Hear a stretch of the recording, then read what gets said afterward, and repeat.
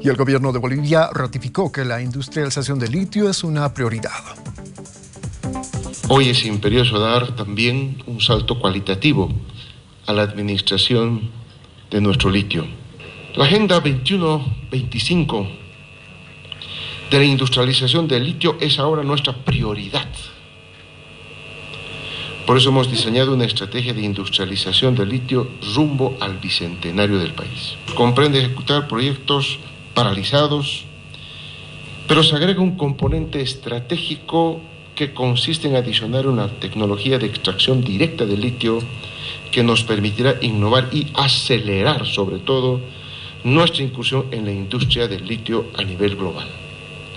Hay un tiempo que hemos perdido que debemos recuperar.